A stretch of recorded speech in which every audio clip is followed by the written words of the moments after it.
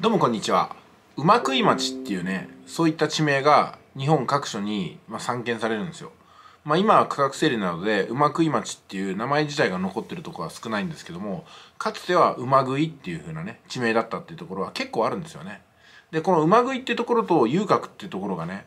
まあ、関係があるというふうに、まあ、私はまあいろんなところの文献を見たり歴史を見たりとかして察しているんですけどもそれはなぜかっていうと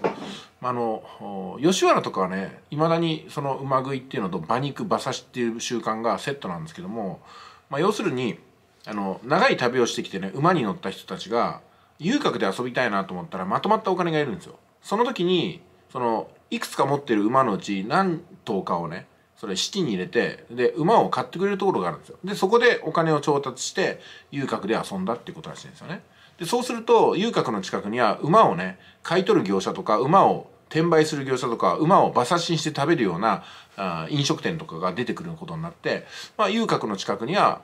馬となったちなんだ土地の名前とか実際に馬刺し屋が多かったりするらしいんですよ。まあ、ですんでねあの歴史と地名って本当に密接に関わってきてあの地名を聞いたらもしかしたらあの辺はっていう思うところが結構あるんですよねでもやっぱり馬とか馬とか食べるとかね馬を食べるってあんまり縁起のいい地名じゃないのとあとはそれが遊郭になっているっていうところね本当にしてもあの噂にしてもやっぱりその土地に悪い雰囲気をつけたくないんでまあ地名を変えていくってことが結構あったりとかねするみたいですよね。あのまあ渋谷とかね、えー、それから赤坂とかね六本木とかねよくよく考えてみたらちょっと不吉な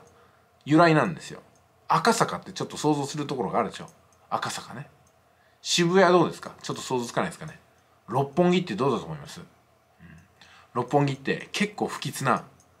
そんなね地名の変遷を経て六本木になってるんですよね。まあ次にまた別の時にこの話をさせていただきますんでまたよろしくお願いします。